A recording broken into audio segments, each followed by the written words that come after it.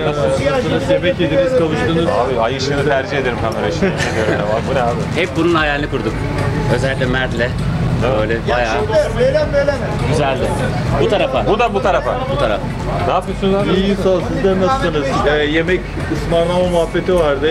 Ersin Bey söyledi. Yok top Ersin de ilk ben ısmarladım şimdi Ersin de sıra. Sonra da Şu anda da vallahi Mert ısmarladı. Sağ olsun kesesine bereket. Bir şey diyeceğim ben sürekli ben ısmarlıyorum değil mi? Evet, bu sefer ben ısmarlayacağım. Tamam okey. Tamam.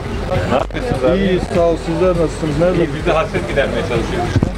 Tamam okey mi? Çalışıyoruz. Şu an çalışıyoruz. Hasret gideriyoruz. Abi hasret gideriyoruz. Çok özlemiştik Eskileri memleketi. Aynen öyle geldik oturduk böyle biraz boğaza karşı bakındık sohbet ettik. Gökhan'da İhsan da vardı sağ olsunlar yalnız bırakmadılar. Şimdi de evimize gidiyoruz. Aycan'ın da ailesi geldi. Ben zaten Aycan'la birlikte geldik aşkım falan. Mert'le de zaten planladık. Güzel yani keyifli geçiyor ya tadını çıkarıyoruz ya. Zaten bu e, survival havasını böyle bir anda atıp işlerimize yoğunlaşmak istiyoruz. İnşallah bakalım.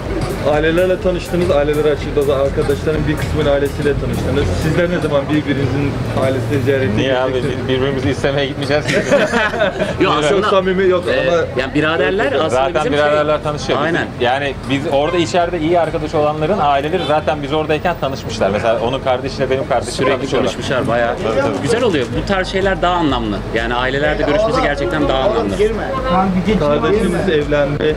Evet. Tebrik ediyoruz. Evet. Ee, yanında Hatta- olamadınız. 27'si düğün aslında. 13'ü normalde nikah oldu. Şimdi Hakikaten ne 27'si zaman düğün? 27'si Bursa'da mı? 27'si Bursa'da zaten. Bütün Survivor ekibini çağıracaksınız o zaman. Tabii kesinlikle orada olacak inşallah. Bursa'da olacak. Bakalım. Var mı yeni bir projeniz sizde Mert Bey? Olacaktır mutlaka olacak. Sercan da olacak. Benim de olacak ama biraz böyle bir tatil yapalım, bir ülkeye alışalım, bir kendimize gelelim. Daha çok yeni çünkü yeni İlk geldik. yediğiniz yemeği merak ediyoruz. Son olarak da bunu da bize iletirsiniz. Valla ben çıkar çıkmaz bis, İlk ne bis, yedik? bisküvi falan yemiştim. Ben, ben seninle birlikteydim. Neymiştik? Evet, kebap yedik kebap. Kebap yedik. Direkt kebap. Kebap yedik. Aynen öyle.